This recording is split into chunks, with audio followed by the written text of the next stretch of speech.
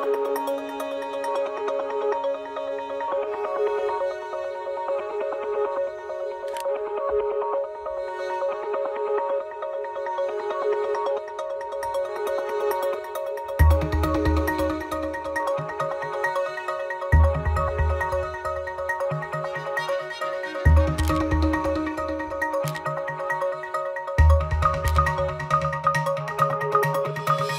The working group classified aspartame as possibly carcinogenic to humans, that is group 2B, based on limited evidence for cancer in humans.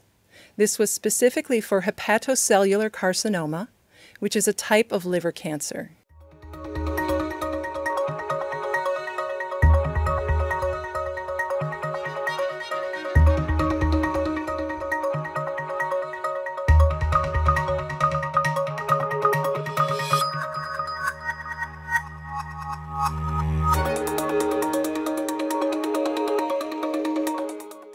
So definitely WHO is not recommending the producers to uh, withdraw or authorities to withdraw products from the market.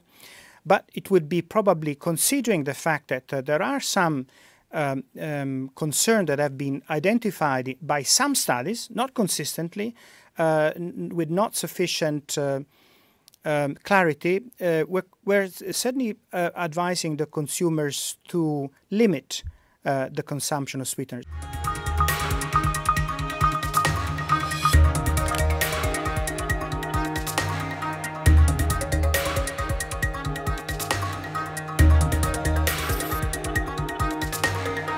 If uh, consumers are faced with the decision of whether um, to take um, um, cola with sweeteners or one with sugar, I think there should be a third option considered, which is to drink water instead.